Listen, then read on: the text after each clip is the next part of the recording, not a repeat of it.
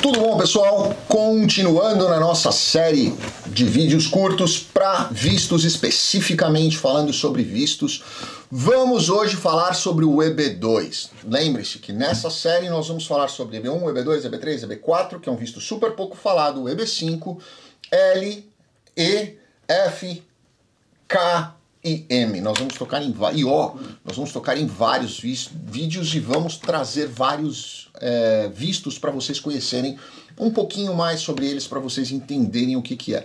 É sempre importante você conversar com o advogado para ver qual é o melhor visto para o seu caso. Lembre, o caso do seu amigo não quer dizer que vai servir da mesma forma para você. Os prazos dele são diferentes dos seus, a estrutura processual dele é diferente da sua, a forma de aplicação pode ser totalmente diferente. O que funciona para um pode não funcionar para o outro. Então é importante sim, sempre você conversar com um advogado que vai saber te direcionar para o seu caso, certo? Vamos falar hoje sobre o EB2. O EB2 que se tornou uma febre, né? Muitas pessoas falando sobre o EB2, principalmente pelo fato que o EB2 ele, ele, ele abre um leque de interpretações muito grande. Então vamos separar, eu já falei num outro vídeo, quem quiser dá uma olhada aqui no nosso canal, vou ver, pedir para o meu pessoal da edição colocar inclusive o link aqui para vocês, explicando algumas coisas sobre EB2, mas lembrem, EB2, na minha concepção, ele não é um visto tá? Porque o visto, pela própria definição de si, é, pela própria definição legal, inclusive, ele é o stamp no seu passaporte, a pré-análise consular para que possa te conceder um determinado visto que é estampado no seu passaporte, você entra com ele aqui. E no caso do EB2 não é assim que funciona, porque ele concede o green card após a sua, a sua aprovação.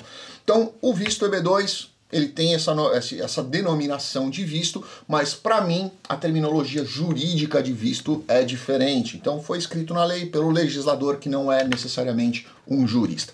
Mas vamos lá, vamos separar as coisas que muita gente vem conversar conosco falando sobre EB2NW, como se fosse uma coisa só, e eu já expliquei no outro vídeo que não são as mesmas coisas, são coisas totalmente diferentes, regulamentadas por legislações totalmente diferentes.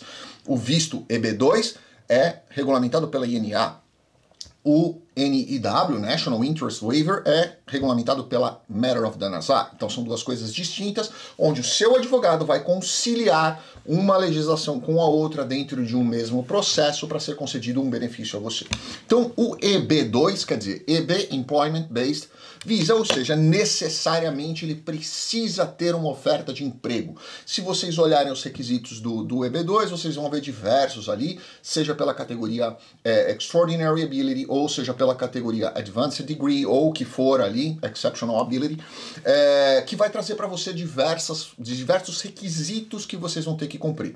Cumpridos esses requisitos, você precisa sim ter a oferta de emprego passada pelo DOL, pelo Department of Labor. Se você não tiver, você precisa se enquadrar nas três prongs da Matter of Danazar, que vai te dar o waiver para que não precise da autorização de trabalho.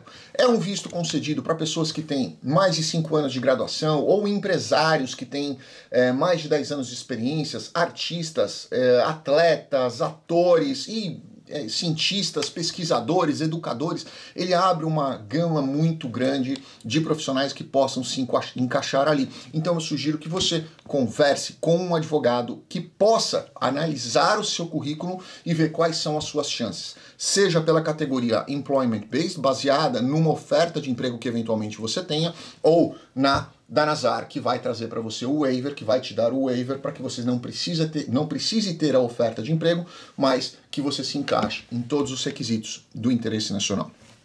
Esse é um processo que, ao final dele, a aprovação e após a entrevista sendo aprovada, ele é concedido o green card, que vai permitir que você e a sua família vivam e residam legalmente como residente permanente dentro dos Estados Unidos. Certo?